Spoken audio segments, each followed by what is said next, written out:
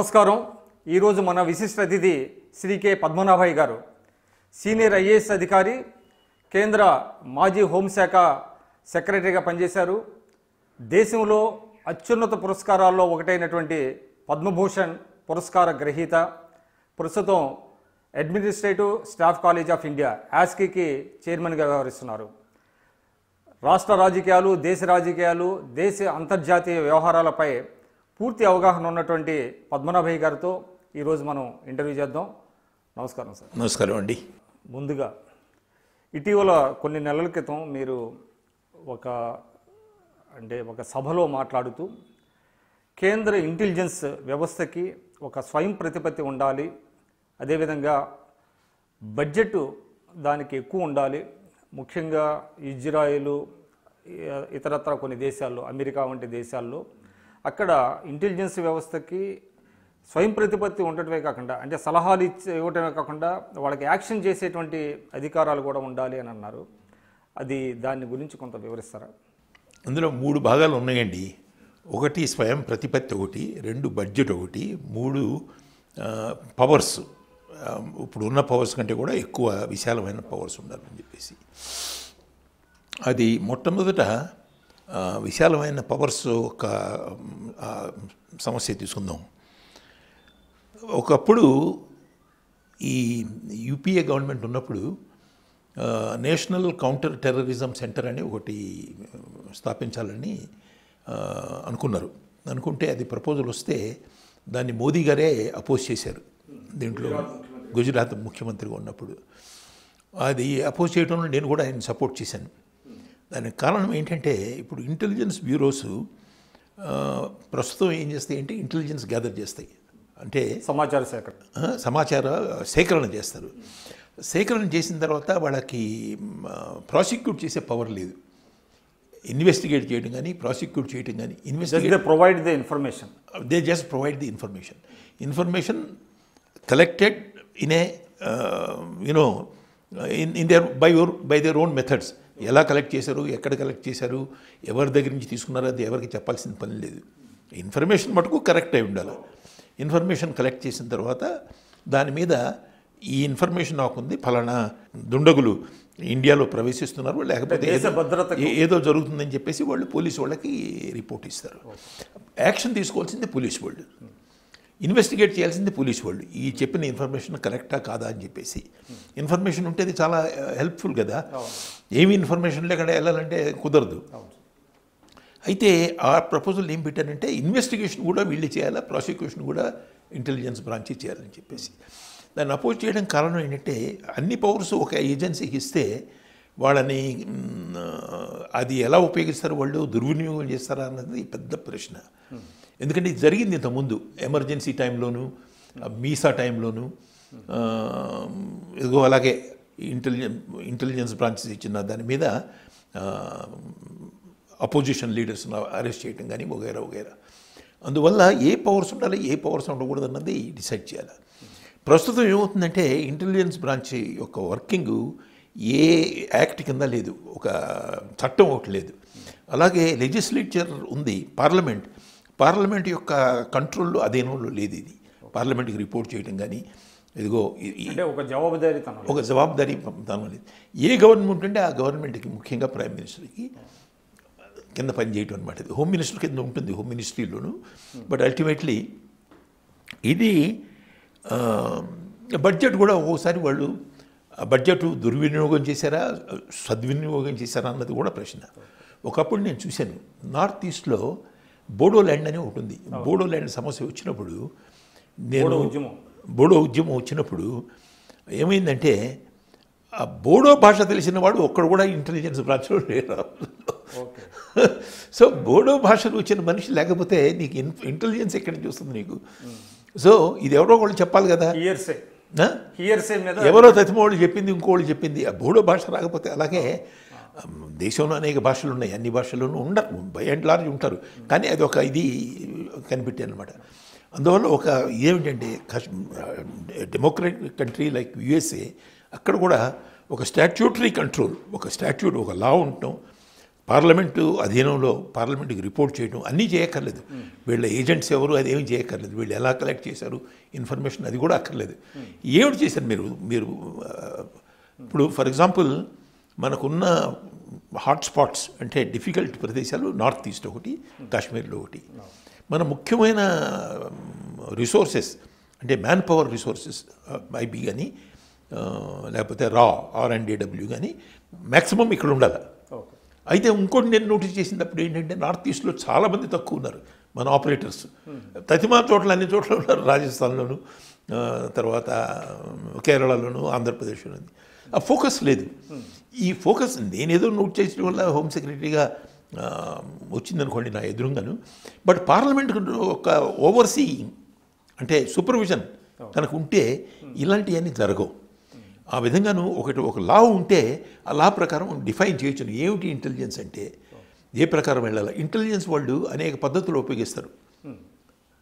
ఆ పద్ధతులన్నీ లీగలా ఫర్ ఎగ్జాంపుల్ వైర్ ట్యాపింగ్ అంటారు. అంటే మీరు మనిషికి వైర్ పెట్టేసి వాడు చెప్తున్నదంతా వింటానికి లేకపోతే టెలిఫోన్ ట్యాపింగ్. ఈ టెలిఫోన్ ట్యాపింగ్ మీద కూడా అనేక సమస్యలు వచ్చాయి మీకు గుర్తున్నాయో లేదో.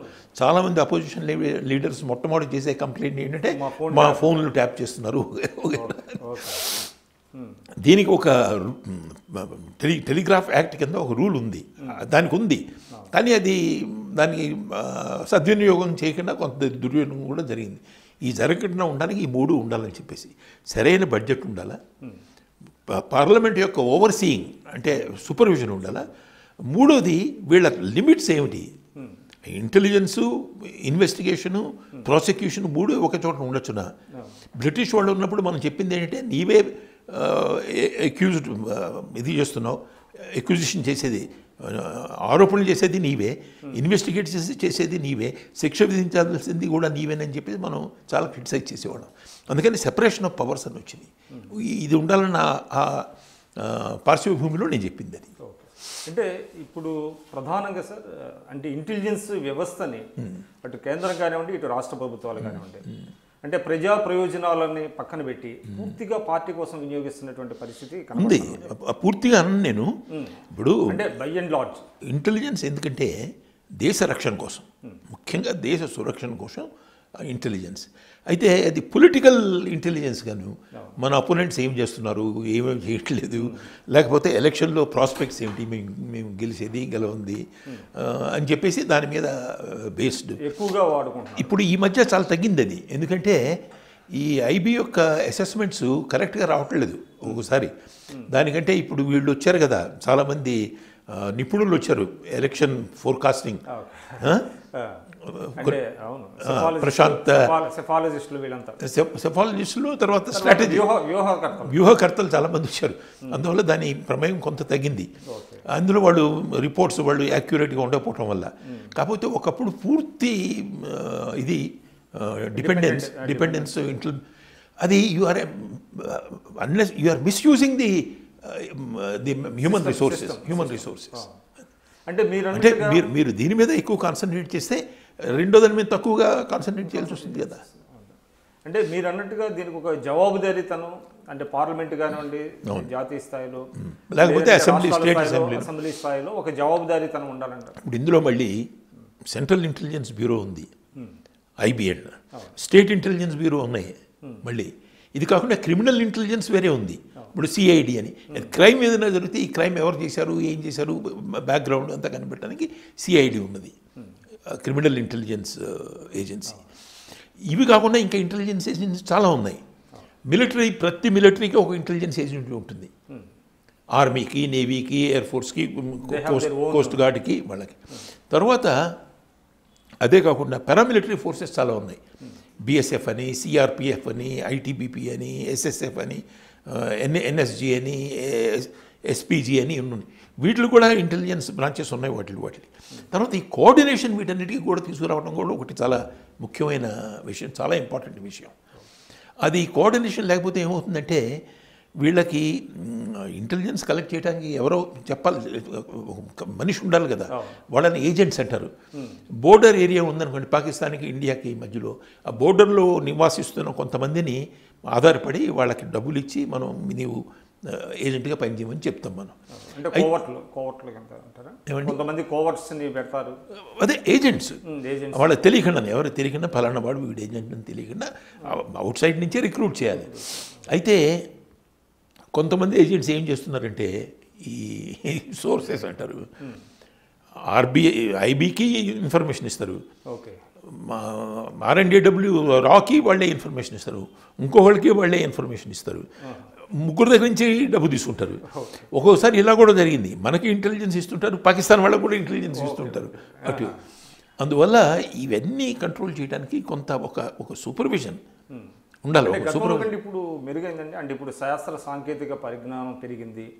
తర్వాత ఈ సమాచార వ్యవస్థని బాగా అయినా కూడా ఇంటెలిజెన్స్లో రెండు రకాలు ఉన్నాయి. ఒకటి హ్యూమన్ ఇంటెలిజెన్స్ అంటారు. మనిషి ఉండాలి. ఆ, మనిషి ఉండి ఆ ఆ సంస్థ ఏదైనా ఇప్పుడు జైషే మహమ్మద్ అని ఉందనుకోండి లేకపోతే ఎల్ఈటి లష్కర్ ఏ తోయిబా అని. లష్కర్ తోయిబా నుంచి మీకు కరెక్ట్ ఇన్ఫర్మేషన్ కావాలంటే ఆ ఆ సంస్థలో చొరబడాలి. అంటే కులభూషణ్ కేసు లాగా అందులో చొరబడితేనే మీకు అబ్సల్యూట్లీ కరెక్ట్ ఇన్ఫర్మేషన్ వచ్చేది. లేదు వాళ్ళు టెలిఫోన్స్ వగైరా వగైరా ట్యాప్ చేసి లేకపోతే వాళ్ళ మనిషి ఎవడో మీకు చెప్పి వాడు ఇంకెంత కరెక్ట్ చెప్తున్నాడో మనకి తెలియదు కదా.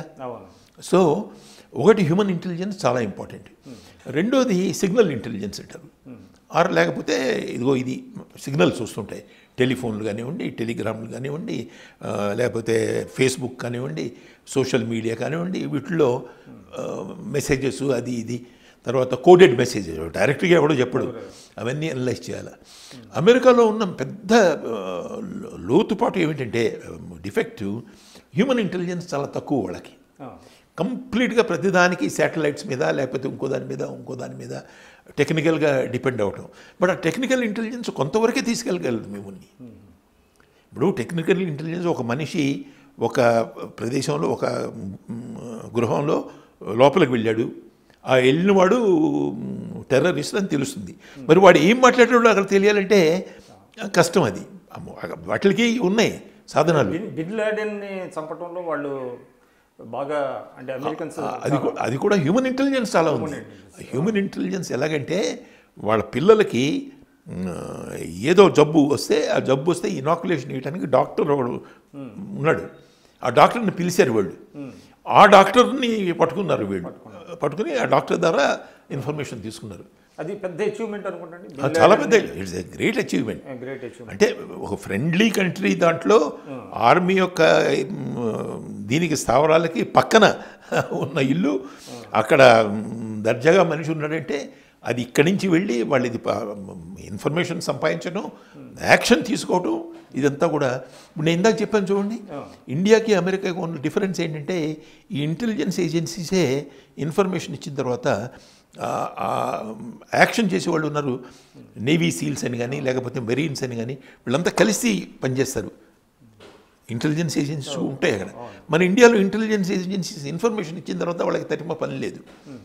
అయితే దీన్ని యాక్ట్ కింద ఒక చట్టం కింద పెడితే అది దుర్వినియోగం అయింది లేనిది తెలుస్తుంది కాబట్టి అది చేయొచ్చు అలాగా ఆ చట్టం లేకుండా వీళ్ళకి పవర్ ఇస్తే అది కంట్రోల్ చేయడం కష్టం. ఇది యునైటెడ్ నేషన్స్లో కూడా ఉన్నట్టుందండి. అంటే ఇప్పుడు ఉదాహరణకి యునైటెడ్ నేషన్స్లో లేదండి. అట్లా అంటే ఇప్పుడు మనం ఒక నిర్దిష్టమైనటువంటి సాక్ష్యాధారాలు సో సపోజ్ దావుద్ ఇబ్రహం సంబంధించినటువంటి అతను చేసే యాక్టివిటీస్ సంబంధించినటువంటి సమాచారాన్ని అంతా యునైటెడ్ నేషన్స్ ముందు ఇండియా అంటే కోర్టు. కోర్టు. ముందు ఉంచినప్పటికీ కూడా అంటే దావుద్ ఇబ్రహీంని ఒక ఇంటర్నేషనల్ టెర్రరిస్ట్గా ముద్ర వేయడానికి యుఎన్ ఎందుకు అంగీకరించలేదు? ఇప్పుడు దానికి వెళ్ళే ముందు ఇంకోటి చెప్తాను. యునైటెడ్ నేషన్స్లో అనేక సంస్థలు ఉన్నాయి. ఒకటి for example narcotics and drugs administration అని ఉంది. వియన్నాలో ఉంటుంది దాని హెడ్ క్వార్టర్స్. ఇప్పుడు దానికి సంబంధించిన ఇంటెలిజెన్స్ అంతా వాళ్ళు కలెక్ట్ చేస్తుంటారు. వాళ్ళు డైరెక్ట్గా కలెక్ట్ చేస్తుంటారు. తర్వాత స్టేట్స్ ప్రతి రాజ్యం నుంచి ఇండియా నుంచి పాకిస్తాన్ నుంచి ప్రతిదీ ఇన్ఫర్మేషన్ ఇవ్వాలి మనకి మన వాళ్ళకి. ఆ ఇన్ఫర్మేషన్ ఉంటుంది అది ఉంటుంది. తర్వాత రెండోది nuclear atomic energy international atomic energy agency అని ఉంది. వాళ్ళు ఇరాన్లో వాళ్ళు న్యూక్లియర్ బాంబు తయారు చేయడానికి అన్ని సంసిద్ధంగా ఉన్నారు అన్ని సదుపాయాలు అమర్చుకున్నారని చెప్పేసి వచ్చి దానివల్లే అమెరికా ఇవన్నీ కూడా వాళ్ళ మీద ఆంక్షలు విధించాయి. ఈ శాంక్షన్స్. దానికి ఏజెన్సీస్ ఉన్నాయి. బట్ వాళ్ళు ఒక్కళ్ళే కాదు. తర్వాత ఇంటర్నేషనల్ పోలీస్ ఏజెన్సీస్ ఉన్నాయి. ఇంటర్పోల్ అని వగైరా వగైరా వాటి నుంచి ఇన్ఫర్మేషన్ వస్తుంది. కాకపోతే డైరెక్ట్ యునైటెడ్ నేషన్స్ ఏజెన్సీస్ ఏవైతే ఉన్నాయో యునైటెడ్ నేషన్స్ సెక్యూరిటీ కౌన్సిల్ ముఖ్యంగా వాళ్ళకి సెపరేట్ వింగ్ లేదు ఇంటెలిజెన్స్ వింగ్. దేశాలు ఇచ్చిన ఇన్ఫర్మేషన్ మీద వాళ్ళు యాక్ట్ చేస్తారు. సార్ ఇంకోటి ఇటీవల ప్రధాని నరేంద్ర మోడీ గారు ఒక ప్రతిపాదన తీసుకొచ్చారు. త్రివిధ దళాల మీద ఒక సూపర్విజరీ పవర్ లాంటిది ఏదో ఏర్పాటు చేయాలని అన్నారు అంటే ఆల్రెడీ ఇప్పుడు త్రివిధ దళాలకి హెడ్ రాష్ట్రపతిగా ఉన్నారు. తర్వాత వాళ్ళు డైరెక్ట్గా డిఫెన్స్ మినిస్టర్కి అండర్లో పనిచేస్తూ ఉంటారు. ఓ, అంటే ఇటువంటి ప్రతిపాదన అంటే దేనికి తీసుకొచ్చారు? దానివల్ల ఉపయోగం అది అది ఇది చాలా ఇంపార్టెంట్ స్టెప్ అండి. ఎందుకంటే ముఖ్యంగా ఆర్మీ నేవీ అంటే ఆర్మీ అంటే ఇది ల్యాండ్ ఇది నేవీ సముద్రాల మీద చేసేది ఎయిర్ ఫోర్స్ ఉంది. ఇప్పుడు న్యూక్లియర్ కమాండ్ అని ఒకటి ఉంది. స్ట్రాటజిక్ కమాండ్ అని న్యూక్లియర్ ఇది. స్పేస్ కమాండ్ అని ఇప్పుడు స్పేస్ కూడా ఒక ఇదిగా తయారైంది కాబట్టి అది కూడా ఉంది. ఇప్పుడు ఈ ఏజెన్సీస్ అన్నీ ఒక్కొక్క చోట ఇప్పుడు హైదరాబాద్లో ఏదైనా యుద్ధ పరిస్థితులు వచ్చి ఏదో జరిగిందనుకోండి హైదరాబాద్ కాదు లేదో బోర్డర్లోను ల్యాండ్ వరది లేకపోతే పాకిస్తాన్ పంజాబ్ పక్కన. అయితే నేవీ వెళ్ళదు అక్కడికి. ఎయిర్ ఫోర్స్ సదుపాయం ఉండాలి. కానీ నేవల్ ఇది కూడా కరాచీ మీద దండయాత్ర చేయాలంటే నేవల్ ఇది కూడా. వీళ్ళ కోఆర్డినేషన్ ఎలా తీసుకురావాలి ఇది? ఈ కోఆర్డినేషన్ మెకానిజం ప్రస్తుతం ఏమిటంటే చీఫ్ ఆఫ్ డిఫెన్స్ స్టాఫ్ అని ఒక ఇది పద్ధతి ఉంది. అది ఏం చేస్తారంటే ఈ ముగ్గురులోనూ సీనియర్ ఎవరైతే ఉన్నారో అతన్ని అతను రిటైర్ అయ్యేంత వరకు ఆ మనిషి ఆ పొజిషన్లో ఉంటాడు. ఇన్ఛార్జ్ ఉంటాడు.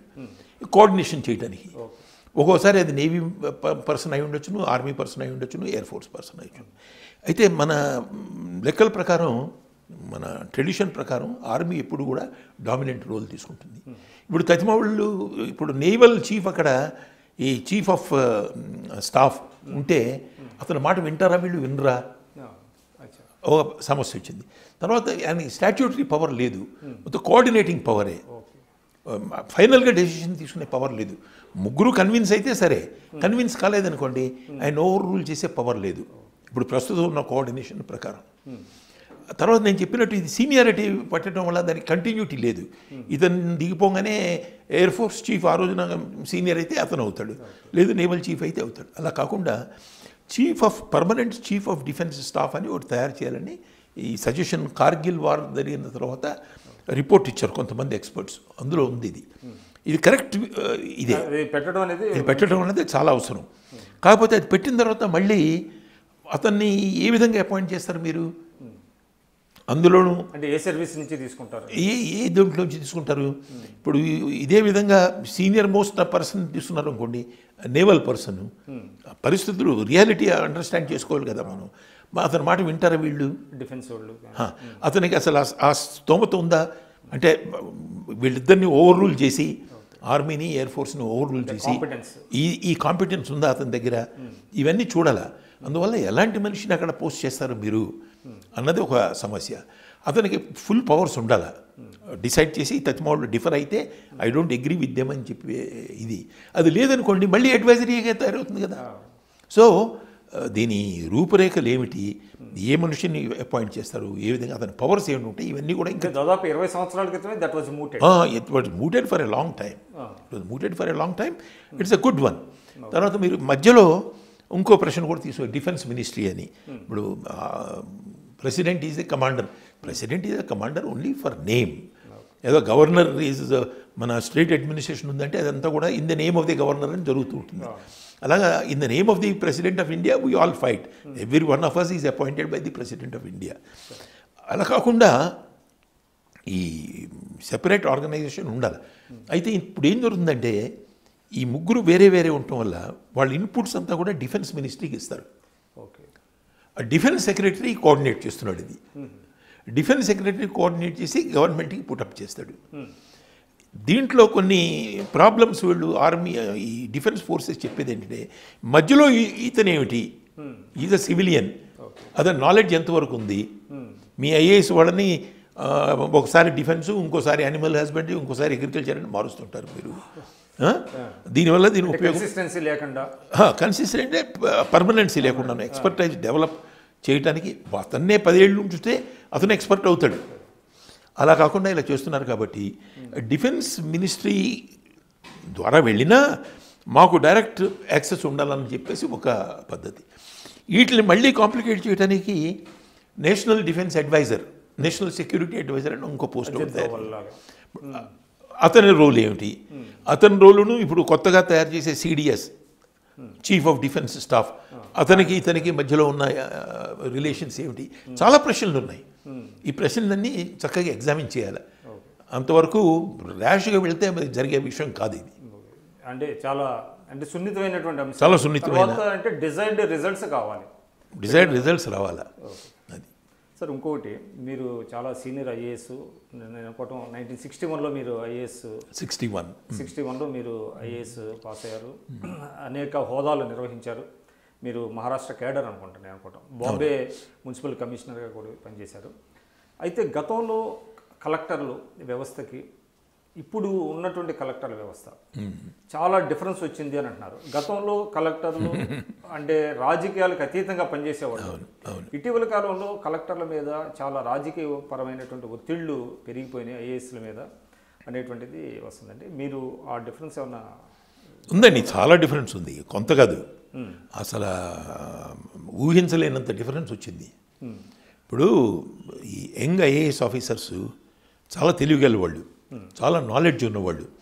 మేము చదివినప్పుడు ఏదో జనరల్ సబ్జెక్ట్స్ సైన్సో ఫిజిక్సో కెమిస్ట్రీయో హిస్టరీయో ఎకనామిక్సో చదివి వచ్చేవాళ్ళం. ఇప్పుడు చాలామంది ఇంజనీర్స్ దాంట్లోకి వచ్చారు. చాలామంది డాక్టర్స్ దీంట్లోకి వచ్చారు. చాలామంది మేనేజ్మెంట్ ఎక్స్పర్ట్స్ అందులోకి వచ్చారు. అందువల్ల తెలివితేటలు చాలా ఉన్నాయి. ఇప్పుడు కొత్త రిక్రూట్స్కి తెలివితేటలు డిఫరెంట్ ఎక్స్పోజర్ డిఫరెంట్ ఎక్స్పోజర్ తర్వాత ఈ టెక్నాలజీ రావటం వల్ల ఇంటర్నెట్ తర్వాత డిజిటల్ ఇది కంప్యూటర్ సైన్స్ వాటిలో కూడా నాలెడ్జ్ ఉంది ఏమండి? Tech savvy Tech savvy tech savvy people కూడా చాలామంది వచ్చారు. ఐఏఎస్లోనే కాదు ఇన్కమ్ ట్యాక్స్లోను పోలీస్ సర్వీస్లోను వాటిలో కూడా వచ్చారు. అయితే వాళ్ళ వాళ్ళకి ఇచ్చిన పవర్స్ వాళ్ళు ఉపయోగిస్తున్న పద్ధతి అవి అవి చాలా వరకు మారిపోయినాయి. ఇప్పుడు ఒక్క ఉదాహరణ చెప్పడానికి ఒక్కొక్కసారి చూస్తుంటే ప్రతి స్టేట్ గవర్నమెంట్ కూడా అనేక స్టేట్ గవర్నమెంట్లు వీళ్ళకి బడ్జెటరీ కంట్రోల్ అన్నది అసలు ఉన్నదా? ఈ బడ్జెట్లో ఇది ఉంది సార్ ఇది లేదు సార్ ఇది బడ్జెట్లో లేదు కాబట్టి ఇది మనం ఖర్చు పెట్టలేము ఈ సంవత్సరం. కావాలంటే బడ్జెట్లో ఇంక్లూడ్ చేసి నెక్స్ట్ ఇయర్ పెట్టుకోండి అని చెప్పేవాడు ఎవరైనా ఉన్నాడా అసలు?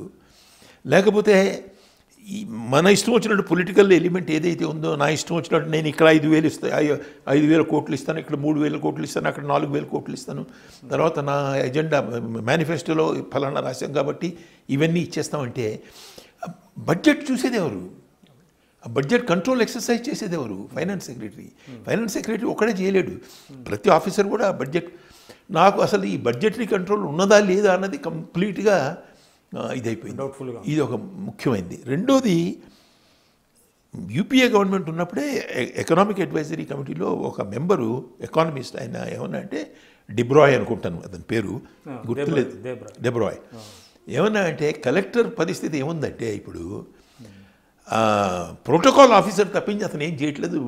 డిస్ట్రిక్ట్ చీఫ్ మినిస్టర్ వస్తేనో ఇంకో మినిస్టర్ వస్తేనో లేకపోతే గవర్నర్ వస్తేనో ఈ బందోబస్త్ కలెక్టర్ దగ్గర బందోబస్తు తప్పించి ఇంకా వేరే ఏమీ లేదని చెప్పేసి అతను ఒకటి మాట అన్నాడు. వివేక్ ఏమండి? వివేక్ వివేక్ దిబ్రాయ్. అలాగే ఇంకోటి ఏమైందంటే విపరీతమైన రెస్పాన్సిబిలిటీ కలెక్టర్ మీద పెట్టారు. ప్రతి విషయానికి కలెక్టరే హెడ్ అని చెప్పేసి. ఇప్పుడు ఇన్ని సబ్జెక్ట్స్ ఒక నేనున్నప్పుడే ఒక యాభై కమిటీలు ఉండేవి డిస్ట్రిక్ట్ లెవెల్లో. వాటిని కూడా కలెక్టర్ చైర్మన్. నువ్వు చూస్ చేసుకోవాలి ఏది ఇంపార్టెంట్ ఏది ఇంపార్టెంట్ కాదు. దేంట్లో నేను ఎక్కువ ఇది పెట్టాలని ఇప్పుడు for example red cross society district red cross సొసైటీకి అతనే చైర్మన్ లేకపోతే ఇంకో ఏదో ఉంటుంది. దానికి ఆయనే చైర్మన్ వికలాంగుల దీనికి ఆయనే చైర్మన్ ఇదిగో ఇలాగా ఇప్పుడు అప్పుడే ఫిఫ్టీ ఉండే ఇప్పుడు వందో నూట యాభై ఉంటాయి కమిటీ సబ్జెక్ట్స్ కమి ఈ కమిటీలు కూర్చుంటే అతని అసలు ఇంకా వేరే పనేమీ చేయలేడు అతను. అందువల్ల ఇది కూడా తగ్గించి కొంచెం అది స్ట్రీమ్ లైన్ చేయాల్సిన పని ఎంతో ఉంది. సో వీళ్ళు కలెక్టర్సే కాదు. స్టేట్ లెవెల్లో కూడా at the secretariat level finance సెక్రటరీలు వీళ్ళు అసలు వీళ్ళ ప్రకారం వాళ్ళ financial control budgetary control some discipline priorities చేసుకోవటం ఇదంతా మానేశారు ఇంకా వదిలేశారు. మీరు ఉన్న టైంలో నేను అడిగింది పొలిటికల్ ప్రెషర్స్ అండి. నేను పొలిటికల్ ప్రెషర్ గురించి కదా చెప్తున్నాను. ఇప్పుడు ఒక ప్రతి విలేజ్లోనూ ఇంతమందిని అపాయింట్ చేయాలా? ఒక లక్ష మంది వాలంటీర్స్ని వీడికి ఐదు వేలు ఇవ్వాలా? ఇది ఇది పొలిటికల్ ప్రెషరే కదా? మరి దీని అడ్మినిస్ట్రేటివ్ అడ్వాంటేజ్ దీనివల్ల అడ్వాంటేజ్ ఉందా? అడ్వాంటేజ్ ఉంటే ఏం అడ్వాంటేజ్ ఉంది? ఈ పద్ధతి కరెక్టా వీళ్ళని పెడితే జిల్లా పంచాయతీస్ ఉన్నాయి విలేజెస్లో ఈ పంచాయతీ వాళ్ళ పవర్స్ ఏమవుతాయి? వాళ్ళకి వీళ్ళకి క్లాష్ వస్తుందా? ఇవన్నీ ఎగ్జామిన్ చేయాలి కదా. ఇవన్నీ ఎగ్జామిన్ అంటే నిర్ణయాలు తీసుకొని ఎన్ఫోర్స్ చేసేస్తున్నారా? మీరు మీరు చేయండి. అంటున్నారు. ఆ. నిర్ణయం ఏ పద్ధతిలో తీసుకున్నారు? దాని మంచి చెడు ఆలోచించారా లేదా అన్నది. ఇప్పుడు ఎలక్షన్ మేనిఫెస్టోలో పెడితే అంటే అందరూ తజ్ఞులు దాన్ని ఎగ్జామిన్ చేసి పెట్టారన్న ఇదేం లేదు. So it has become more of a political this one but ఒకప్పుడు అండి ఐఏఎస్ అధికారులు అంటే చాలా రోల్ మోడల్గా ఉండేవాడు ప్రజలకి. కలెక్టర్ గారు తప్పు చేయరు కలెక్టర్ గారు పేదల పక్షపాతి కలెక్టర్ గారు సామాన్య ప్రజల పక్షాన ఉంటారు అనేటువంటి పేరు తెచ్చుకునేవాళ్ళు. బట్ ఆఫ్ లేట్ చూసినట్లయితే మోస్ట్ ఆఫ్ ది అందరినీ నేను చెప్పను కానీ చాలామంది ఐఏఎస్లు ఎవరు అధికారంలో ఉంటే వాళ్ళకి అంటే ఒక సైకో ఫ్యాన్సీ లాగా తయారైనటువంటి పరిస్థితి కనపడ అప్పుడు ఉంది ఇప్పుడు ఉంది. ఇప్పుడు ఐఏఎస్ ఆఫీసర్లకి పాలిటీషియన్స్కి ఉన్న సంబంధాల గురించి నేను చాలా చర్చ చేశాను చాలా రాశాను చదివాను కూడాను. వీళ్ళది ఏమిటి కావాలంటే వీళ్ళిద్దరికీ చక్కని సమన్వయం ఉండాలి మంచి కోఆర్డినేషన్ ఉండాలి. సెక్రటరీ టు ది డిపార్ట్మెంట్ ఆ మినిస్టరుకి మంచి సమన్వయం ఉండాలి కోఆర్డినేషన్ కోఆర్డినేషన్ లేకుండా ఏమైందంటే ఏదో కొల్యూషన్ ఇద్దరు కొల్లుడు అయిపోయి కుమ్మక్క అయిపోయి హ్యాండ్ ఇన్ గ్లోవ్ అయిపోయి చేయటం ఒకటి. లేదా రెండో పద్ధతి ఏంటంటే కాన్ఫ్లిక్ట్ ఏ ఆయన చెప్పింది ఏం చేయాలా పొలిటీషియన్ చెప్పింది.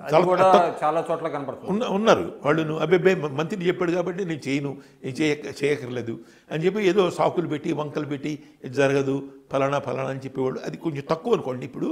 కొల్యూషన్ చాలా ఆ కుమ్మక్కైన వాళ్ళు ఎక్కువ ఉన్నారు. ఆ కోఆర్డినేషన్ అన్నది చాలా తక్కువ. ఇప్పుడు ఒక జడ్జిమెంటల్గా చెప్పాలంటే ఒక ట్వంటీ పర్సెంట్ కోఆర్డినేట్ చేస్తుంటారు చక్కగాను. ఒక థర్టీ ఫార్టీ పర్సెంట్ కొల్యూషన్ ఒక టెన్ ఫిఫ్టీన్ పర్సెంట్ కాన్ఫ్లిక్ట్ వాళ్ళు వాళ్ళంతా లూప్ లైన్లో ఉంటారు. అది. సో ఇంకో డేంజర్ ఏమిటంటే ఇప్పుడు మీరు ఏ పొలిటికల్ పార్టీ అయితే పవర్లో ఉందో వాళ్ళ రూలే చేస్తే ఆ- పవర్ దిగిపోయిన తర్వాత వీడిని చూసే దిక్కు ఉండదు. వీడిని ఎక్కడో గన్నీ బ్యాగ్స్ కౌంట్ చేయడానికో లేకపోతే ఏదో officer on corridor duty officer on special duty అని ఒకటి ఉంది. నేను దాన్ని ఏమంటానంటే officer on corridor corridor duty అంటే కారిడార్లో అటు ఇటు తిరుగుతూ ఉండాలన్నమాట ఉద్యోగం వచ్చేంత వరకు ఓకే. ఇప్పుడు కూడా చాలామంది ఉన్నారు. ఉద్యోగం నుంచి తీసేస్తే జిఏడికి వెళ్ళి రిపోర్ట్ చేయి ఆ జిఏడిలో నాలుగు నెలలు ఐదు నెలలు అక్కడ ఉండు. అప్పుడు ఎప్పుడు జరుగుతుందని. అదే ఇప్పుడు కొంతమంది ఒక సెట్ ఆఫ్ ఐఏఎస్ ఆఫీసర్స్ సీఎంతో సీఎంఓలో ఉండటం వాళ్ళు పవర్స్ని అబ్యూజ్ చేయటమో లేకపోతే కొంచెం ఓవర్లుక్ చేయటం అలాంటివి జరుగుతాయి? వాళ్ళందరినీ తీసి పక్కన పెట్టేయటం వేరే ప్రభుత్వం వస్తే. ఇది it has become the order of the day అందులో రెండు రకాలు ఉన్నాయి ఇప్పుడు సీఎం ఆఫీసులో ఉన్న వాళ్ళంతా ఆయనతో కుమ్మక్కయ్యారు ఆయన చెప్పిన పనులన్నీ చేస్తున్నారు అన్నది కాదు. సీఎం ఎందుకు తీసుకుంటాడు ఆయనకి? పనులు జరగాల. మంచి అడ్వైజ్ ఇవ్వాలా. కొంతమంది ఉన్నారు కొంతమంది గుడ్ లీడర్స్ పాలిటీషియన్స్లో కూడా గుడ్ లీడర్స్ ఉన్నారు బ్యాడ్ లీడర్స్ ఉన్నారు. ఇప్పుడు గుడ్ లీడర్స్ ఏం చేస్తారు? మనకు మంచి సలహా ఇస్తాడు ఇతను. డిఫికల్టీ లేకుండాను. అది డిఫికల్టీ లేకుండా ఇంప్లిమెంట్ చేస్తాడు అన్న వాళ్ళనే తీసుకుంటారు కదా అక్కడ. అందుకని కొంచెం మంచి బ్రెయిన్స్ కూడా ఉన్నారు కొంతమంది. కొంతమంది ఇంకా దాసోహం ఏది చెప్తే అది చేసేవాళ్ళు కూడా ఉన్నారు. అందువల్ల కొత్త గవర్నమెంట్ వచ్చినప్పుడు ఈయన చీఫ్ మినిస్టర్ దగ్గర పాత చీఫ్ మినిస్టర్ దగ్గర పనిచేశాడు కాబట్టి ఇతన్ని వెంటనే తీసేయాలంటాం కూడా చాలా తప్పుది. చాలా తప్పది. అంటే వాళ్ళ అనుభవాన్ని కూడా ఉపయోగించుకోవాలి. వాళ్ళ అనుభవాన్ని కూడా ఉపయోగించుకోవాలా? అది. కానీ ఇప్పుడు ఆ పరిస్థితి కనపడట్లేదు. జరగట్లేదు. ఎందుకంటే ఇప్పుడు షార్ట్ ఫ్యూజ్ రాగానే ఈ మొత్తాన్ని అంతా మార్చేయాలా? సిస్టమ్ అంతా ఇప్పుడు యూపీలో ఇది చాలా జరిగేది. దీన్ని ట్రాన్స్ఫర్ ఇండస్ట్రీ అంటు- అంటుండేవాడిని నేను. ఇక్కడ ఉత్తరప్రదేశ్లో అండి ఉత్తరప్రదేశ్లో. Transfer industry. కొత్త గవర్నమెంట్ రాగానే అక్కడ మాటి ముందు మాయావతి ఒక రోజు అయితే ములాయం సింగ్ ఒక రోజు అయితే మళ్ళీ బీజేపీ వాళ్ళు ఇంకో రోజు అయితే ఇదిగో ఇలాగే మారుతూ ఉండేది అక్కడ. మారినప్పుడల్లా ఒక వంద మందిని రెండు వందల మందిని ట్రాన్స్ఫర్ చేయటం. ఒక ట్రాన్స్ఫర్ ఇండస్ట్రీ అనమాట అది. ఇది అమెరికాలో కూడా ఉందంటారండి? అంటే ప్రెసిడెంట్ మారంగానే కాఫీ ఇచ్చే బాయ్తో సహా మొత్తం లేదు దట్స్ నాట్ కరెక్ట్ కాఫీ ఇచ్చే బాయ్ వైట్ హౌస్ అంటే ప్రెసిడెంట్ ఉండే ఇంట్లో ఉంటే అది వేరే విషయం. అది తప్పించి వైట్ హౌస్ స్టాఫ్ మొత్తం మార్చేస్తారు White House staff personnel staff అది. Personnel staff to the president ఇప్పుడు అమెరికన్ గవర్న అమెరికన్ బ్యూరోక్రసీ కూడా మన బ్యూరోక్రసీ ఎంత పెద్దదో అంత పెద్దది అక్కడ కూడా అయితే కొన్ని పోస్టులే దాదాపు ఒక తొమ్మిది వేలో ఎంతో ఉంటాయి అంతకంటే కూడా తక్కువ. ఈ పోస్టులు మటుకు ప్రెసిడెంట్ నామినేట్ చేస్తే వాటికి సెనేట్ అప్రూవల్ ఇస్తే అప్పుడు వాళ్ళు ఇదవుతారు. అందువల్ల టీ సర్వ్ చేసే వాడి నుంచి ఇదంతా జరగటం అనేది పొరపాటు అది వైట్ హౌస్ అంటే ప్రెసిడెంట్ ఉండే భవనం కాబట్టి పర్సనల్ స్టాఫ్ అందులో జరగాల్సినది. అది పద్ధతి అక్కడ. సార్ ఇంకోటి మీరు అంటే మీ ఆధ్వర్యంలో అనేక కమిటీల్లో మీరు వర్క్ చేశారు. ప్రభుత్వ కమిటీలో కానివ్వండి పోలీసు అంటే సంస్కరణలు ఇటువంటివి కూడా. ఇప్పుడు చాలా వరకు మన అడ్మినిస్ట్రేటివ్ సంస్కరణలు జరగాల్సినటువంటి అవసరం ఉందనేటువంటిది చాలామంది చెబుతున్నారు కానీ కమిటీలు వేయటం కమిటీలు ఇచ్చినటువంటి నివేదికల్ని పక్కన పెట్టేయటం అనేటువంటిది ఒక రివాజుగా మారింది. కారణం ఏమంటారు? ఇప్పుడు చాలా మంచి ప్రశ్న అడిగారు మీరు. అడ్మినిస్ట్రేటివ్ రిఫార్మ్స్ అంటే అందులో ఇంప్రూవ్మెంట్ తీసుకురావటం. పరిపాలనలో. పరిపాలనలో ఇది. ఇది ఎవరు మూవ్ చేయాలి ఇది? ఇందులో ఇంప్రూవ్మెంట్ రావాలా? Who are at the helm of affairs who is at helm of affairs civil సర్వెంట్సా ఇప్పుడు సివిల్ సర్వెంట్స్లో క్యాబినెట్ సెక్రటరీ ఉన్నాడు. ఇదంతా సివిల్ సర్వీస్కి సంబంధించింది. సివిల్ సర్వీస్ ఇనిషియేటివ్ తీసుకోవాలా? లేకపోతే పాలిటీషియన్స్ ఇనిషియేటివ్ తీసుకోవాలా? పాలిటీషియన్ ఇనిషియేటివ్ తీసుకుంటే తనకి ఏది అనుకూలంగా ఉంటుందో అలాంటిదే చేస్తాడు కానీ ఆబ్జెక్టివ్గాను ఆబ్జెక్టివ్ అంటే నిరు నిరుపక్షపాత నిష్పక్షపాతంగా. పాతంగా ఉండే పద్ధతి. ఎందుకు ఒప్పుకుంటాడైనా పొలిటికల్ ఇది ఏదో మహా మహర్షి అయితే తప్పించి ఆ పొలిటికల్ పార్టీకి ఏదైతే వీలుగా ఉంటుందో అలాంటి సంస్కరణలు అయితే చేయమంటారు ప్రతిమై మాట్లాడేది లేదు. కాబట్టి పాలిటీషియన్స్ ఇనిషియేటివ్ తీసుకోరు ముఖ్యంగా. మాట వరుసగా అనొచ్చును అడ్మినిస్ట్రేటివ్ రిఫార్మ్స్ రావాలా? గుడ్ గవర్నెన్స్ కావాలా? గుడ్ గవర్నెన్స్ అంటే దానికి కూడా డెఫినేషన్స్ ఉన్నాయి. ఏది గుడ్ గవర్నెన్స్ అని. వాళ్ళు తీసుకోరు. సివిల్ సర్వీసు తీసుకోదు. బికాజ్ వీళ్ళ పవర్ తగ్గిపోతుంది కాబట్టి. ఇది ఒక తలనొప్పి ఈ ఇదంతాను. సాధారణంగా ప్రపంచంలో జరిగిన అడ్మినిస్ట్రేటివ్ రిఫార్మ్స్ అన్నీ కూడా ఎలా జరిగినాయి అంటే ఫండింగ్ ఏజెన్సీస్ వరల్డ్ బ్యాంక్ కానీ ఇంకోటి కానీ ఐఎంఎఫ్ కానీ డబ్బులు ఇస్తూ కండిషన్స్ పెట్టారు. మీరు ఇది చేస్తే తప్పించి మేము డబ్బులు ఇవ్వమని కండిషన్స్ పెట్టినప్పుడు దానికి వీళ్ళు కండిషనాలిటీస్ ఒప్పుకున్నారు. కండిషనల్ వాళ్ళకి అంటూ ఉంటాం చెంచా ఇచ్చారు, అది ఇది అని ఇలాంటి- కండిషనాలిటీలు రెండు రకాలు ఉన్నాయి ఒకటి ఫైనాన్షియల్ కండిషనాలిటీ రెండు అడ్మినిస్ట్రేటివ్ కండిషనాలిటీ ఆ కండిషన్స్ పెట్టినప్పుడు వీళ్ళకి చేయక తప్పట్లేదు. అదొకటి. రెండోది ఎలక్షన్ టైంలో people would force them to declare this administrative reforms మీరు తీసుకురండి. ఇంత కరప్షన్ ఉంది దేశంలోనూ. కరప్షన్ అంతా మీరు కంట్రోల్ చేయాలా? సో మీరు ఏదో లోకాయుక్తాన్ని పెట్టండి.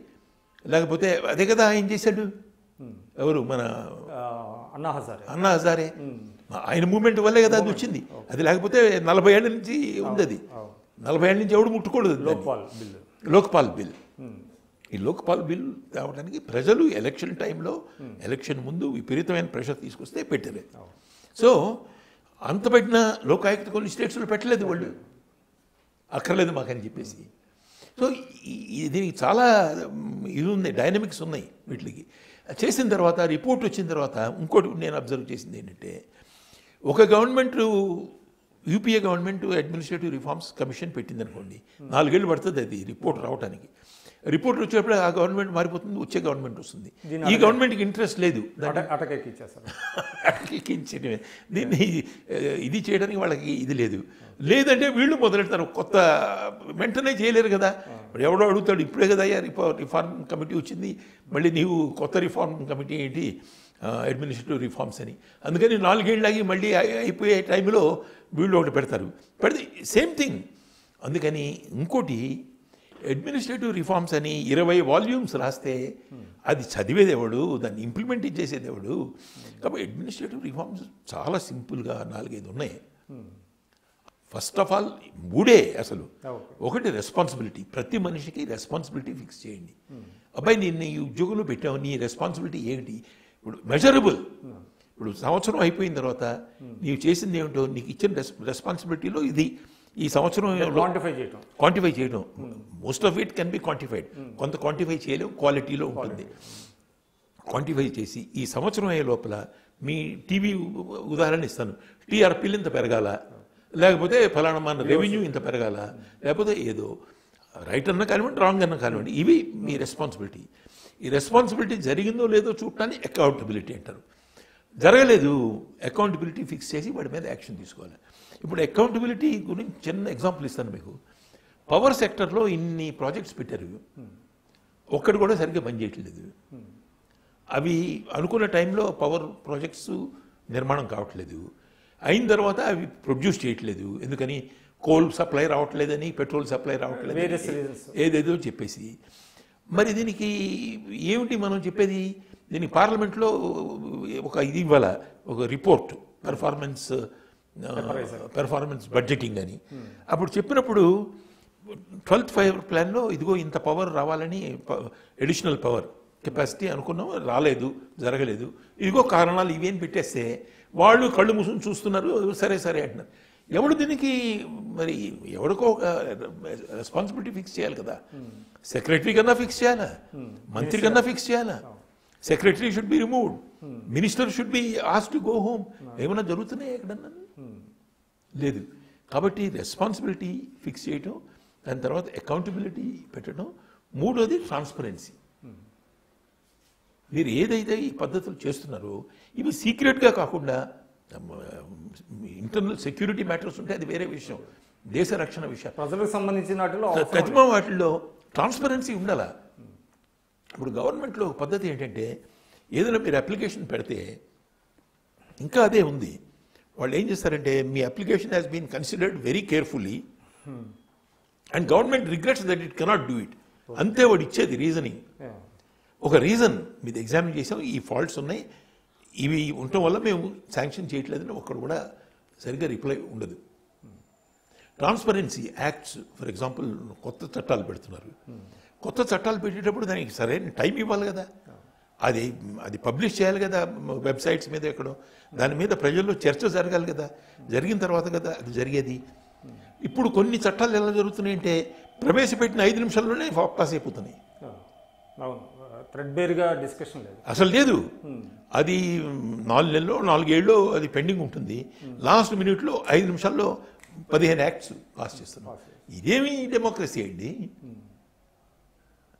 సో అడ్మినిస్ట్రేటివ్ రిఫార్మ్స్ ఇరవై దాని మీద ఇంతకు ముందు అయితే మీకు ఇరవై వాల్యూమ్స్ రాయాల్సిన పని లేదు. అంటే సెలెక్ట్ కమిటీకి పంపించే విధానం కూడా ఉండేది. ఉండేది అది లేదు. అది వాళ్ళ రికమెండేషన్ ఇచ్చినా అది ఒప్పుకోవట్లేదు. ఇదిగో ఈ విధంగాను. So so what is the recourse అండి? నో రికోర్స్ ఈజ్ పవర్లో ఎవరైతే ఉన్నారో వాళ్ళ ఇది ఏమంటారు? నీతి నియమాలు ఉండాలి కొంచెం.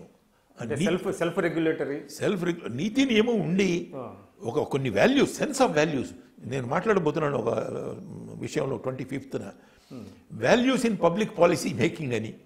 ఆ సెన్స్ ఆఫ్ వాల్యూస్ ఉండాలి కదా.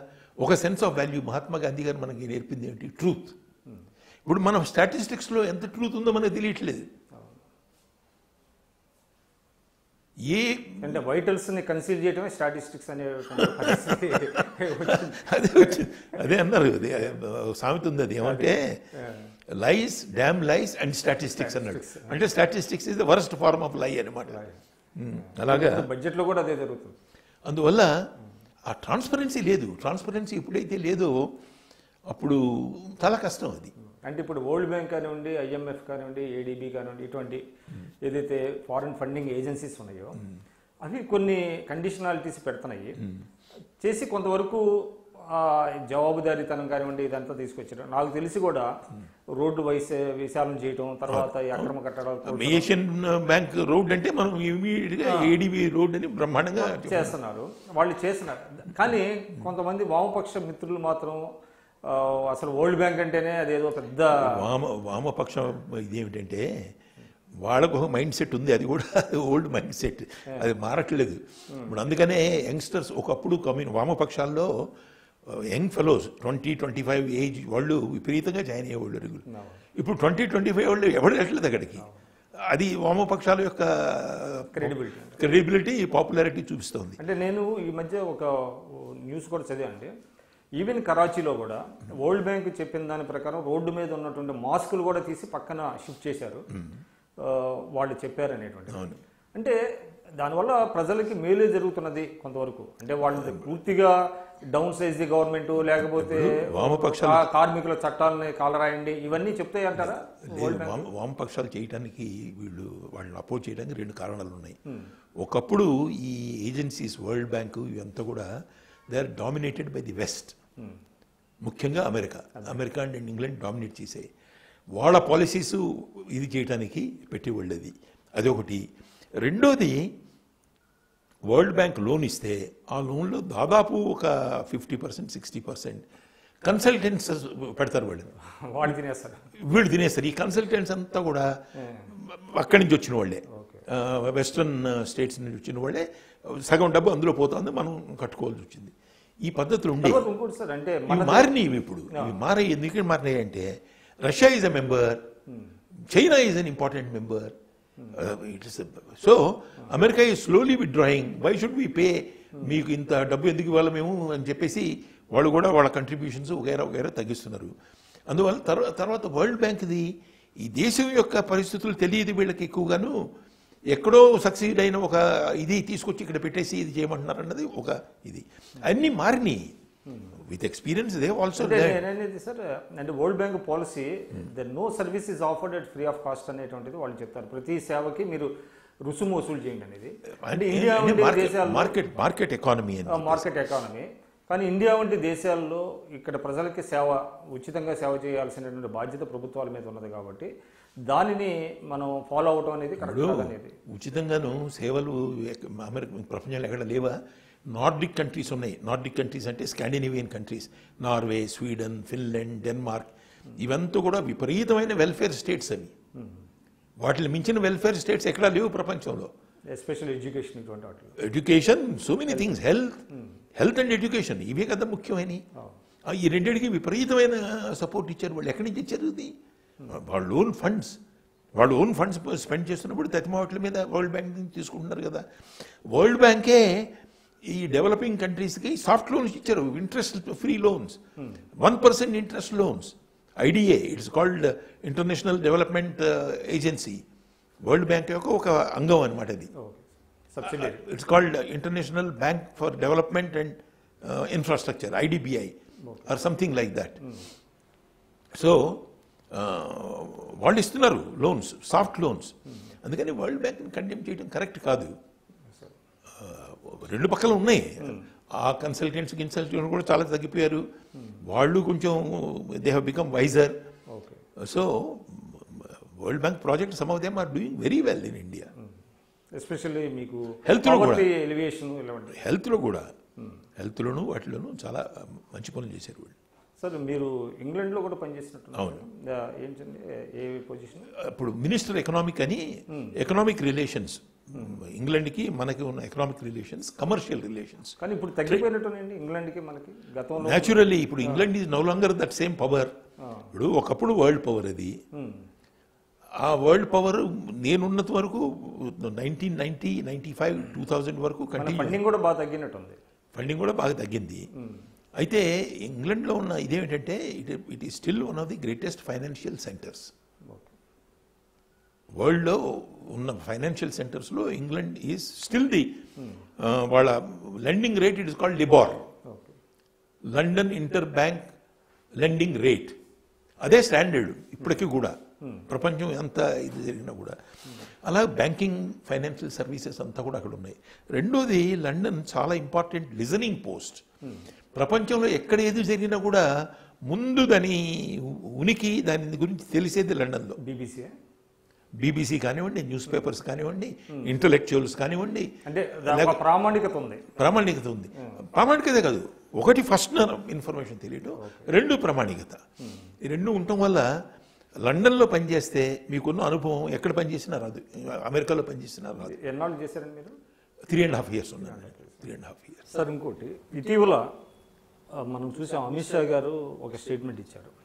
అంటే భారత చరిత్రని తిరిగి రాయాల్సిన అవసరం ఉంది. ఇప్పటి వరకు చరిత్ర అనేది బ్రిటిషర్స్ దృక్కోణం నుంచి రాసి రాయబడింది అనేటువంటి మాట మాట్లాడుతున్నారు. మీరు కూడా దీని మీద చరిత్ర మీద పూర్తి అవగాహన ఉన్నటువంటి వ్యక్తి. అంటే జనరల్గా చరిత్ర బ్రిటిషర్సే కాకుండా మన భారత చరిత్రకారులు కూడా చాలామంది రాశారు. అంటే ఇదేమైనా డిస్టార్షన్ జరిగిందండి? అంతకు ముందు ఏమైనా జరిగిందా? దాన్ని మార్చాల్సినటువంటి అవసరం ఉందా? ఇప్పుడు చరిత్ర అనేది సాధారణంగా విక్టర్స్ ఏదైనా యుద్ధంలో ఎవరైతే గెలిచారో వాడు రాసింది చరిత్ర. Okay. That is how it is always there చరిత్ర మొదలైంది ఎలాగంటే హిస్టరీ బిగినింగ్స్ ఈ గ్రీక్స్ రోమన్స్ యుద్ధాలకు వెళ్ళినప్పుడు వాళ్ళతో పాటు హిస్టోరియన్స్ హిస్టోరియన్ తీసుకెళ్ళేవాళ్ళు. ఈ అలెగ్జాండర్తో పాటు వచ్చారు. వాళ్ళు రాసేవాళ్ళు. రాసినప్పుడు వాడి యొక్క గొప్పతనం రాస్తారు కానీ వాడిని అపోజ్ చేసిన వాడి గురించి రాయరు. So there is a saying history is always of the victor ఎవడైతే గెలిచాడో వాడు రాసింది హిస్టరీ ఇంకోటి కూడా అన్నారు history is his story her story కాదు. ఉమెన్ ఈజ్ ఆల్వేస్ అంటే lower this one her importance has not been given తర్వాత హిస్టరీ మా చిన్నప్పుడు చెప్పేవాళ్ళు హిస్టరీ అంటే రాజులు రాణులు యొక్క చరిత్ర తప్పించి సామాన్య మధ్య ప్రజలు వాళ్ళ జీవనం వాళ్ళ శ్రీశ్రీ అన్నాడు కదండి. శ్రీశ్రీ- కొటేషన్ కూడా ఉంది. అది కాదు ఈ చరిత్ర రాజులు Correct. ఆ పురాణాలు వాళ్ళ ప్రేమలు. అది హిస్టరీ.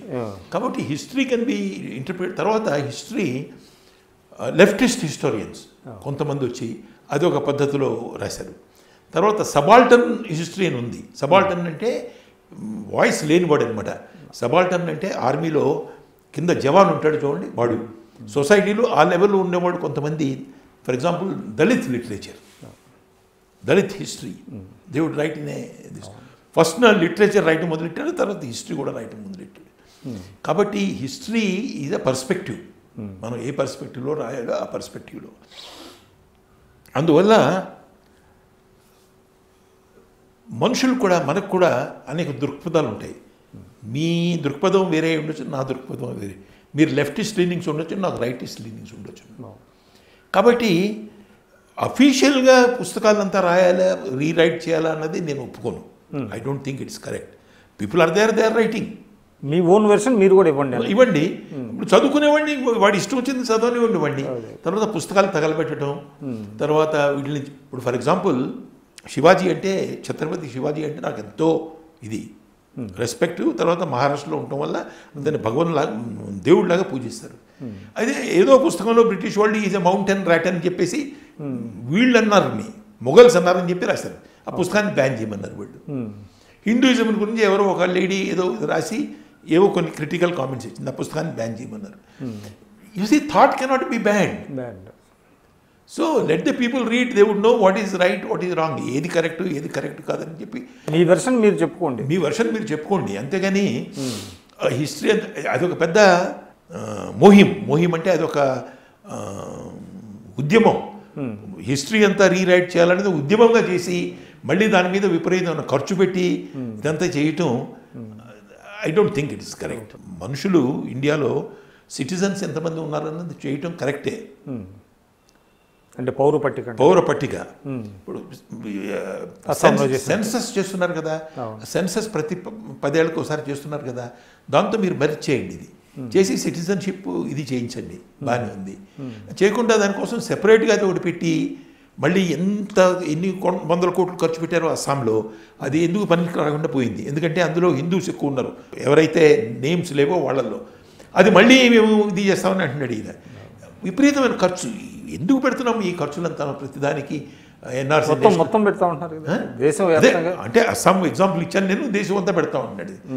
ఇలాగా ఇవన్నీ అనవసరమైన ఖర్చులు ఈ ప్రయారిటీ కాదని అనుకుంటున్నాను నేను. ప్రయారిటీ దేశానికి కొన్ని పాయింట్స్ ఉన్నాయి. కాశ్మీర్ ఇదే ప్రయారిటీ అగ్రీడ్. అంతేగాని ఇంకా దానికి ఇదే ప్రయారిటీ అని చెప్పేసి ఇప్పుడు ఎకనామిక్ ప్రాబ్లమ్స్ ఉన్నాయి విపరీతమైన ప్రాబ్లమ్స్. సెక్యూరిటీ ప్రాబ్లమ్స్ ఉన్నాయి. ఫారెన్ రిలేషన్స్ ప్రాబ్లమ్స్ ఉన్నాయి. ఇవి హ్యాండిల్ చేయాలా? ఇది చేయాలా? సిటిజన్షిప్. బట్ దాని టైంలో అది వస్తుంది. సో ఇప్పుడు ప్రస్తుతం బ్రెగ్జిట్ సమస్య ఏంటంటే? బ్రెగ్జిట్. బ్రెక్సిట్ వదిలేయండి. దాని గురించి మాట్లాడటం చాలా అనవసరం.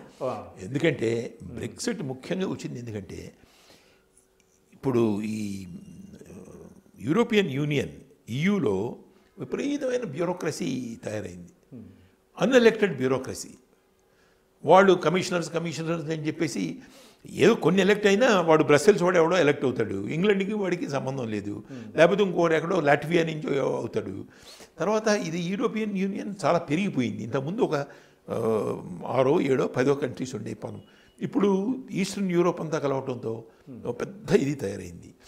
తయారైపోయి ఆ దేశాల్లో ఉన్న మనుషులంతా కూడా ఉద్యోగాల కోసం for the developed areas they are coming ఇప్పుడు ఇంగ్లాండ్లో డాక్టర్స్ ఇంతకుముందు ఇండియన్స్ వెళ్ళేవాడు ఇప్పుడు అన్ని చోట్ల నుంచి చెకోస్లోవేకా నుంచి ఇంకోటి ఏదో హర్జిగోబియా నుంచి బోస్నియా నుంచి లేకపోతే సెర్బియా నుంచి స్లోవేకియా నుంచి ఎక్కడెక్కడి నుంచో వస్తున్నారు. అంటే ఇన్ఫీరియర్ అంటారా క్వాలిటీ అంటే ఒకటి నంబర్స్ వస్తున్నారు. రెండు వాళ్ళ స్టాండర్డ్స్ కూడా ఇన్ఫీరియర్ అని నేను వాళ్ళ standards may not match the. Relatively ఇప్పుడు ఇంగ్లాండ్ నుంచి రిటైర్డ్ డాక్టర్ అంటే మనం ఎప్పుడు ఈజ్ ఎ గ్రేట్ ఫెలో అనుకుంటున్నాం. లేకపోతే అమెరికాలో పనిచేసి వచ్చాడంటే చాలా ఎక్స్పీరియన్స్ ఉందని. వరల్డ్ ఎక్స్పోజర్ కూడా ఉండాలి కదా. సర్బియాలో ఏమిటి ఎక్స్పోజర్ వాడికి? ఎంబీఏ పిఎస్ పాస్ అయితే మళ్ళీ తీసుకోవాలి అక్కడ. సో అది ఒకటి. రెండు విపరీతమైన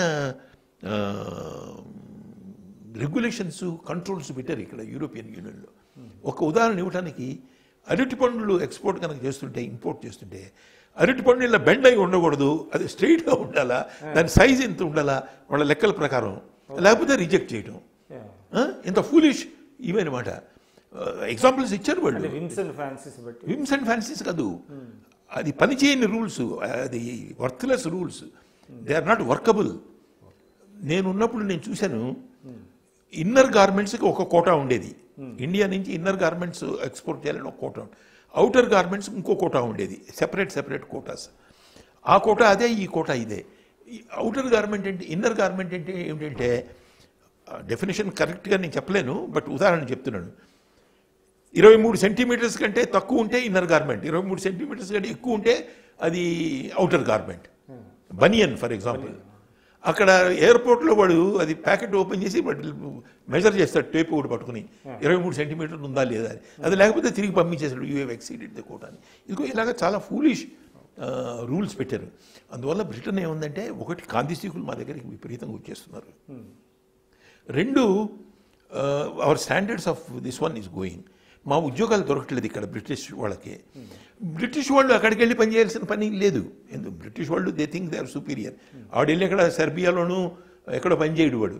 వీళ్ళందరికీ ఫ్రీ. ఇప్పుడు ఎన్హెచ్ఎస్ అని ఉంది national health service. It's a free service. వీళ్ళందరికీ వస్తే వాళ్ళకి ఫ్రీ సర్వీస్ ఇవ్వాలా? వీళ్ళ రూల్స్ ఏమో విపరీతమైన రూల్స్ ఇలాగా. Why are we unnecessarily in this అని చెప్పేసి వాళ్ళు యూరోపియన్ యూనియన్లో జాయిన్ అయ్యారు కానీ ఫైనాన్షియల్ యూనియన్లో జాయిన్ అవ్వలేదు. అంటే వీళ్ళ డాలర్ వీళ్ళ పౌండ్ అలాగే ఉంది. కామన్ పౌండ్ అలాగే ఉంది. వాళ్ళకేమో యూరో ఉంది. వీళ్ళు పౌండ్ పెట్టుకున్నారు. కరెన్సీ దీంట్లో జాయిన్ అవ్వలేదు. మొదల కాడి నుంచి కూడా దేవర్ రెసిస్టింగ్. అంతేకాకుండా ఇంగ్లాండ్ ఇది సెపరేట్ సముద్రం ఉంది. దానికి ఐసోలేషన్ ఉంది. It is an isolated one world power. అందువల్ల వాళ్ళ దీంట్లో బ్రెక్సిట్ అని పెట్టారు. అయితే వీళ్ళ లోకల్ పాలిటిక్స్లో అది అటు కాదు ఇటు కాదు చచ్చిందా బతికిందా లేకపోతే అవుతుందా అవదా ఎప్పుడు అవుతుంది ఇదంతా కూడా చాలా విపరీతమైన మెస్ అది. దాని గురించి మాట్లాడటం అనవసరం ఎక్కువ. ఇప్పుడు మోడీ గారు విదేశాంగ విధానం మీద డిఫరెంట్ ఒపీనియన్స్ ఉన్నాయండి. అంటే ఒక ఇటీవల కాలంలో మనం చూసాము అంటే అమెరికాతో సన్నిహితంగా వెళ్తున్నారు చైనాతో సన్నిహితంగా వెళ్తున్నారు. సరే పాకిస్తాన్తో త్రీ సెవెంటీ తర్వాత మరింత గ్యాప్ పెరిగింది. బట్ మనకి మొదటి నుంచి కూడా మిత్రత్వం ఉన్నటువంటి నేపాల్ కానివ్వండి శ్రీలంకతో కానీ కొంచెం స్ట్రెయిన్ అయిన రిలేషన్స్. అదేవిధంగా ఇతరత్ర కూడా స్టైల్ అయిన అనేది ఒక వాదన ఉన్నది. బట్ ఓవరాల్గా ఫారిన్ పాలసీ మాత్రం బై అండ్ లార్జ్ గతంలో కంటే బెటర్గా ఉందనేటువంటిది ఒకటి ఉన్నదండి. అంటే మీరు ఏం చెప్తారు? బై అండ్ లార్జ్ అన్నారు కాబట్టి మీరు బై అండ్ లార్జ్తోనే ఒప్పుకుంటాను నేను. అయితే ఒకటి అది కూడా ఫారెన్ పాలసీలో ముఖ్యంగా ఆలోచించవలసింది ఏంటంటే ఫారెన్ పాలసీలో ఒక ఇంగ్లీష్లో ఒక సేయింగ్ ఉంది there are no permanent friends Friends. And they are no permanent enemies ఉదాహరణకి అమెరికా పాకిస్తాన్ పెద్ద ఫ్రెండ్స్ ఒకప్పుడు. No. సెంటోని సీటోని వాటిలో మెంబర్స్ వాళ్ళు. వీళ్ళకి రీఫ్యూయలింగ్ ఫెసిలిటీస్కి ఇట్లా ఆఫ్ఘన్ వార్లో వీళ్ళే కంప్లీట్గా ఇది చేసింది. విపరీతమైన ఆయుధాలు ఇచ్చారు ఆఫ్ఘన్ వార్లో పాకిస్తాన్ ద్వారా ఐఎస్ఐ ద్వారా. మరి ఇప్పుడు రిలేషన్స్ అంత పెద్ద గొప్పగా లేవు. ఒకప్పుడు రష్యా చైనా చాలా పెద్ద ఫ్రెండ్స్ తర్వాత వాళ్ళిద్దరు కూడా చెడిపోయారు కొంతకాలం. మళ్ళీ ఫ్రెండ్స్ అవుతున్నారు. సో అమెరికా చూడండి. సౌదీ అరేబియా ఫ్రెండే ఇజ్రాయెల్ ఫ్రెండే వాళ్ళిద్దరికి విపరీతమైన ఇది. కాబట్టి there are no permanent friends and permanent enemies ఒకప్పుడు ఫ్రెండ్ అవుతాడు ఇంకొప్పుడు ఎనిమీ అవుతాడు. అంటే ఇదంతా నాయకత్వం మీద డిపెండ్ అయిందంటే అంటే ఒక కాదు. ఆ సమయాల్లో ఏ ఇంట్రెస్ట్ ఉన్నాయి మీకు అని చెప్పేసి. ఏదో సమస్య వస్తుంది ఒక ప్రాబ్లం ఆ ప్రాబ్లం సాల్వ్ చేయాలా? ఆ సాల్వ్ చేయడానికి ఏ పాలసీ మీరు ఆలోచించాలా? అన్నది ఒకటి. రెండు నాయకత్వం మీద కూడా ఆధారపడి ఉంటుంది. ఇప్పుడు ఫారిన్ అఫైర్స్ అన్నది ఎలా అంటే ఫ్యామిలీ రిలేషన్స్ లాగానే. ఇద్దరు మనుషుల మధ్యలో ఎలాంటి రిలేషన్స్ ఉంటాయో ఇదే చాలా వరకు ఒక ట్వంటీ థర్టీ పర్సెంట్ రిఫ్లెక్ట్ అవుతుంది. ఓకే తర్వాత ఇంతకుముందు నేను ఒకసారి చెప్పినట్టు పదిహేడు వందల డెబ్భై ఆరు నుంచి పంతొమ్మిది వందల పదిహేడు వరకు ఫస్ట్ ఆ, ఈ కాంగ్రెస్ ఆఫ్ వియన్నా అని జరిగింది. అంతవరకు అనేక సమస్యలు జరిగితే ఒక్కసారి కూడా టాప్ లీడర్స్ ఎందులోనూ పార్టిసిపేట్ చేయలేదు. ఓకే. డిప్లొమాట్స్ ఉండేవాళ్ళు వాళ్ళు ఏదో వాళ్ళలో వాళ్ళు మాట్లాడుకుని చేసేవాళ్ళు. Then also it is called quiet diplomacy quiet diplomacy అంటే పెద్ద హడావుడి చేయకుండా పెద్ద ఇది చేయకుండా మన రాయబారుల ద్వారా కొన్ని సమస్యలు తీర్చుకోవడానికి సరిగ్గా మాట్లాడితే జరుగుతాయి. చక్కగా మీతో పాటు నేను కూర్చుని ఎందుకు ఈ ప్రాబ్లమ్స్ మనం సాల్వ్ చేసుకుందాం ఒక డైలాగ్ ద్వారా. ఓ డైలాగ్ ద్వారా. ఇట్స్ కాల్డ్ క్వైట్ డిప్లొమసీ అది క్వైట్ డిప్లొమసీ పోయింది ఇప్పుడు. పోయి it has become a very visible diplomacy okay. Very visible diplomacy and then you know summit diplomacy సమ్మిట్లో meet అవడం అది చేయటం ఇది చేయటం ఇదంతా ఇప్పుడు చైనా యొక్క పాలసీ డెంగ్ అని డెంగ్ జియోపింగ్ దిగు. ఆయన ఉన్నప్పుడు నైన్టీన్ నైన్టీలో ఆయన ఏమన్నా అంటే lie low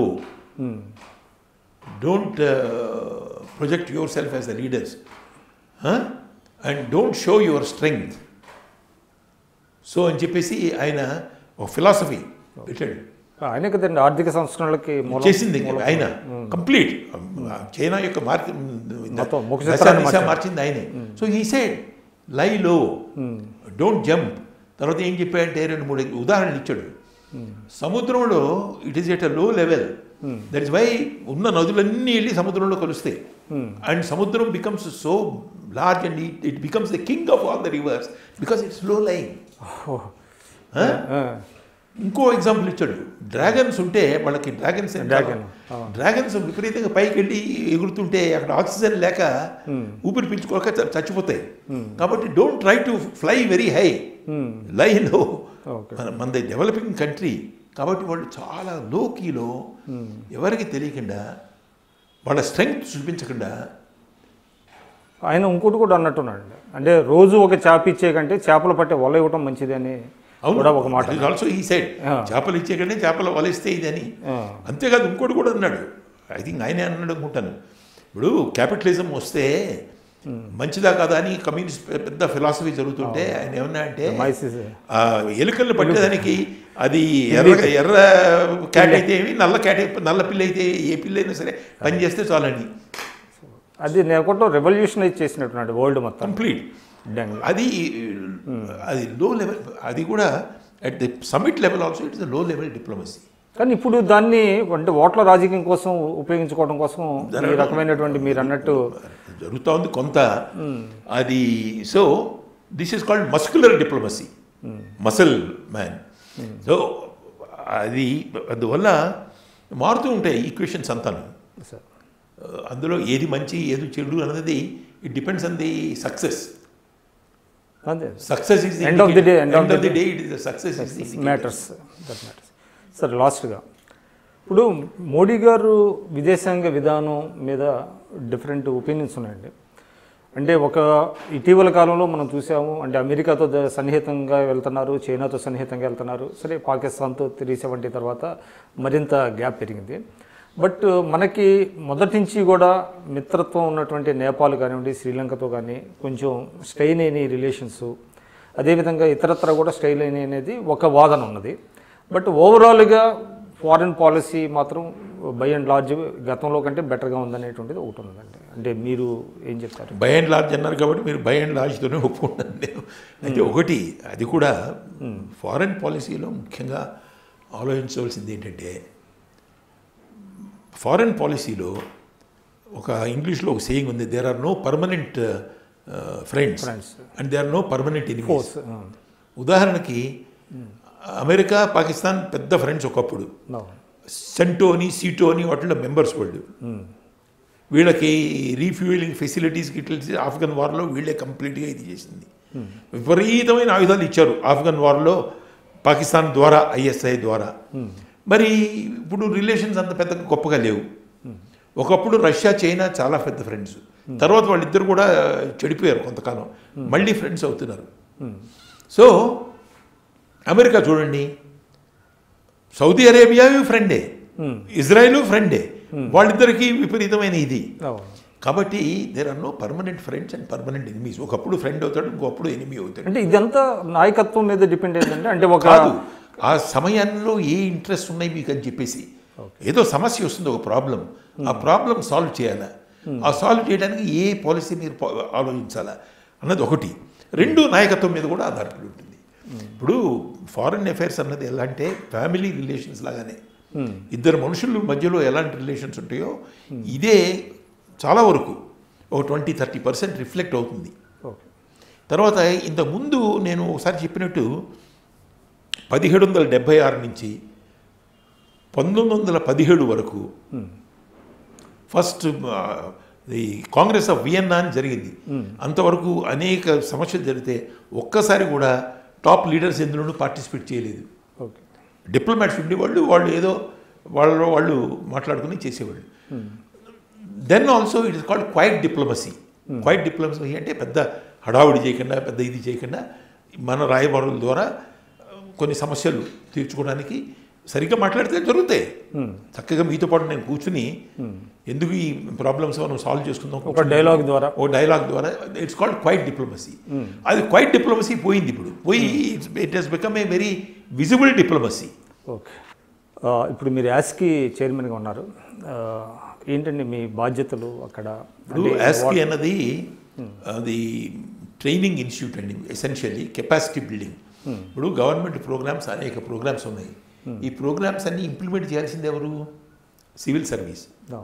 ఇన్కమ్ ట్యాక్స్ కానివ్వండి కస్టమ్స్ కానివ్వండి లేకపోతే పోలీస్ కానివ్వండి ఐఏఎస్ కానివ్వండి రెవెన్యూ డిపార్ట్మెంట్ వాళ్ళు కానివ్వండి వాళ్ళు. అవి చేయడానికి వాళ్ళకి ఇది ఉండాలి కదా. స్కిల్స్ కెపాసిటీ స్కిల్స్ ఆ skills development skill development capacity building. అన్నది that is what we try to do so we as అన్న ఉన్న గవర్నమెంట్లందరినీ మీ మనుషుల్ని ట్రైనింగ్కి పంపించండి ఇక్కడ. మేనేజ్మెంట్లోను. ఇప్పుడు నేను చెప్పాను చూడండి మూడు accountability responsibility transparency new digital ఇది. వీటన్నింటి గురించి how to control how to of monitor this one implementation monitoring and evaluation ఏదైనా ప్రోగ్రామ్ ఉంటే అది ఇంప్లిమెంట్ చేయాలి ఫస్ట్ అది ఇంప్లిమెంట్ సరిగ్గా జరుగుతుందో లేదో మానిటర్ చేయాలి. మానిటర్ చేయాలి. మానిటర్ చేసిన తర్వాత దీని ఇవాల్యుయేషన్ ఇప్పుడు ఆయుష్మాన్ భారత్ అని పెట్టి సంవత్సరం అయింది. ఈ సంవత్సరంలో ఏం జరిగింది? అందరూ బళారే బళా అంటే ఇప్పుడు అది సంవత్సరంలో ఏమైనా జరిగిందా? జరిగితే ఎలా జరిగింది? ఇందులో లోటుపాట్లు ఏమైనా ఉన్నాయా? స్వచ్ఛ భారత్ అవి ఎగ్జామిన్ చేయాలా? స్వచ్ఛ భారత్ ఇదిగో ఇలాగా గవర్నమెంట్ వాళ్ళు చేస్తే కుదరదు. వాళ్ళు Third party. Party third party వాళ్ళు third we're a third party అనే రెప్యూటెడ్ థర్డ్ పార్టీ అదొకటి. రెండోది కన్సల్టెన్సీ ఇప్పుడు ఆర్గనైజేషన్ ఉంది. ఆర్గనైజేషన్ పనిచేయడానికి ఆర్గనైజేషన్లో స్ట్రక్చర్ బాగుండాలి. హెచ్ఆర్ మనుషులు మంచి మనుషులు పికప్ చేసుకున్నారా మీరు? మీ ఫైనాన్షియల్ సిస్టమ్స్ అన్నీ బాగున్నాయా లేదా? మీ అకౌంటబిలిటీ సిస్టమ్స్ అన్నీ బాగున్నాయా లేదా? అందుకని కన్సల్టెన్సీ కొన్ని ఆర్గనైజేషన్స్కి మీ ఆర్గనైజేషన్ని ఎలా మార్చాలా? ఏ పద్ధతిలో మారిస్తే మీరు బెటర్ డెలివరీ చేయగలరు కన్సల్టెన్సీ. అలాగే రీసెర్చ్ మేనేజ్మెంట్ రీసెర్చ్. ఏమిటి ఇందులో మేనేజ్మెంట్లో ఉన్న లోప లోపత ఇవి? అవి ఎలాగ ఫిలప్ చేయడం అని చెప్పేసి ఇది both public sector as well as private sector రెండిట్లో కూడా వాళ్ళు ట్రైనింగ్ ఇస్తుంటాం మేము. మాది training programmes different level different skills ఉన్న మనుషులు వస్తుంటారు కాబట్టి చాలా సీనియర్ లెవెల్లో కూడా it ranges from three days to thirty days okay training programmes వీటిలో అంటే షార్ట్ టర్మ్ కొంచెం అంతే. మీడియం టర్మ్ ఇవే మా ముఖ్యమైన ప్రోగ్రామ్స్ అనమాట మాది it is a voluntary it's society non profit non profit this one non profit అంటే we make some profit but plough back into that no dividend Okay. There no dividend or anything Okay. It's it goes into the organisation so but చెప్పదలుచుకుంది ఏంటంటే ఇండియాలో first management school ఇది ఇండియాలో మొట్టమొదటి పెట్టింది పంతొమ్మిది వందల యాభై నాలుగులో పెట్టారు ఇది సార్ ఈ management school it is called college for practising managers ఇది న్యూ రిక్రూట్స్కి కాదు. ఫర్ ప్రాక్టీసింగ్ మేనేజర్స్ గవర్నమెంట్ సర్వీసులోను ప్రైవేట్ సర్వీసులో ఉన్న వాళ్ళకి వాళ్ళ స్కిల్స్ ఇంప్రూవ్ చేయడానికి. దీని తర్వాతే ఐఐఎం అన్నీ వచ్చినాయి. ఫిఫ్టీ సిక్స్ ఫిఫ్టీ సెవెన్ ఆ తర్వాత. అందువల్ల it's a very prestigious institute so we're giving the training to all the people not only Indians పక్క దేశాలు చాలా బంగ్లాదేశ్ శ్రీలంక మాల్దీవ్స్ నేపాల్ భూటాన్. ఇవి కాకుండా ఆఫ్ఘనిస్తాన్ చాలామంది వస్తుంటారు మాకు స్టూడెంట్స్ ఇదే కాకుండా east European countries central asiatic republics Kazakhstan Kyrgyzstan ఇలాంటి వాళ్ళు చాలామంది ట్రైనింగ్కి వస్తుంటారు మా దగ్గర. మన హైదరాబాద్ హైదరాబాద్. సో సార్ మీకు ప్రభుత్వం మీరు చేసిన సేవలకి గుర్తింపుగా మీకు పద్మభూషణ్ ఇచ్చింది. అయితే ఇంకా మీ సేవలు దేశానికి ఉపయోగపడే విధంగా ఏమన్నా అవకాశం ఉందా? అది వాళ్ళు నిర్ణయించాల్సింది. నేను నిర్ణయించాల్సింది కాదని నేను physically I'm active mentally I'm active so. నేను చాలామంది నాకు మీ పుస్తకం రాయండి మీ హిస్టరీ రాయదలుచుకోలేదు నేను. ఎందుకంటే నాకు ఓపిక ఉంటే ఏదైనా పని చేస్తాను. ఇంకా కొంచెం టీచింగ్ చెప్తాను ఇంకా కొంచెం లెక్చర్స్ ఇస్తాను ఇంకా కొంచెం ఆర్టికల్స్ రాస్తాను. పుస్తకం రాయటం అది waste of time so I don't believe in it కాబట్టి if anybody wants my services I'm available thank you sir but I'm eighty one so thank you thank you అండి నమస్కారం